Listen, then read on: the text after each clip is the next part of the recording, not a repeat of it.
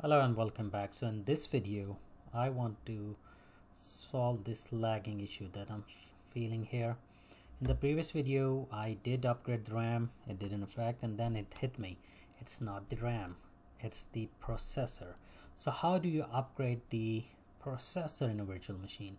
Let's first turn it off, shut it down, power off, whatever you call. That's pretty quick as well let's go back to our Hyper-V, Hyper-V manager. Kali is already selected.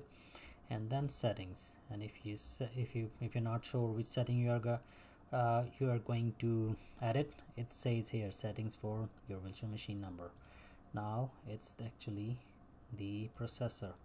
It's one virtual processor. And if I can show you in Ubuntu I had to do the same thing a while back and I had given it two virtual processors and still 4096 what I'm gonna do is just test my theory that it's not the RAM and the processor.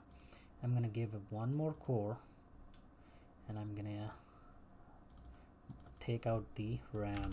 I'm gonna revert it back to 4 GB okay we are done. Connect. Again the beauty of the virtual machines or cloud computing uh, it's just the few clicks and you're done.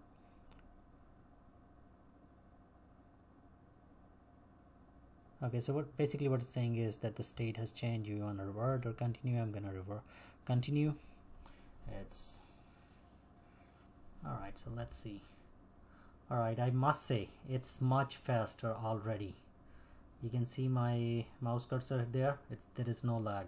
It is exactly the same that it uh, fields in the host machine then it's inside. Let's uh, wait for the GNU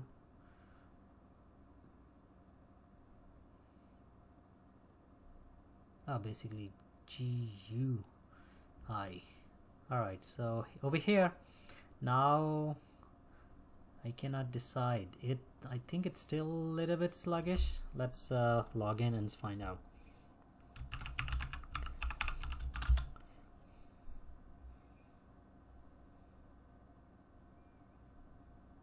All right over here uh, it it's not as bad, uh, bad as it was but it's definitely not the same as in here you, maybe you can see it it disappears and then appears back. So maybe more uh, what should I give it? More RAM? More let's actually find out one thing here. If I go to performance 12% so it's not that. Memory is at 30%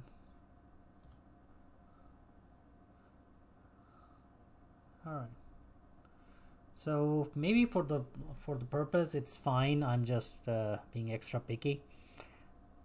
But i just wanted to show you how to upgrade the ram and how to uh, change the processors uh, especially if you uh, if you go and check out the aws like uh, where there there are different machine listed and they say one core and two core uh, it's really good way to find how things change in terms of performance if you have a virtual machine and you can see the difference because rather than pay there and then find out the difference. Alright so I'm gonna wrap this video here. I hope this video has helped you. If it has please rate comment subscribe and share and I see you in the next one